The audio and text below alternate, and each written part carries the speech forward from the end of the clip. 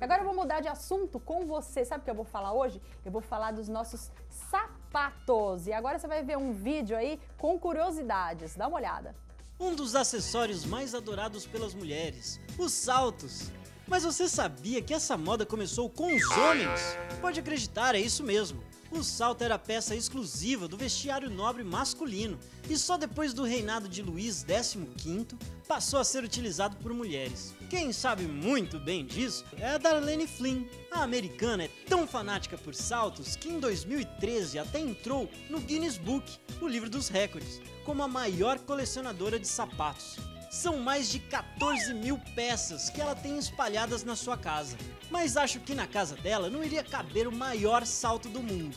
O calçado mede 1,85m de altura por 1,95m de comprimento. Do tamanho do amor das mulheres por saltos, não é mesmo? Pena que amor não compra sapato. Ainda mais se for esse Passion Diamond de uma grife árabe, arrematado por 69 milhões de reais. O luxuoso acessório tem nada mais, nada menos do que 238 diamantes. Chique demais. Uma coisa vocês mulheres vão concordar com a atriz Marilyn Monroe.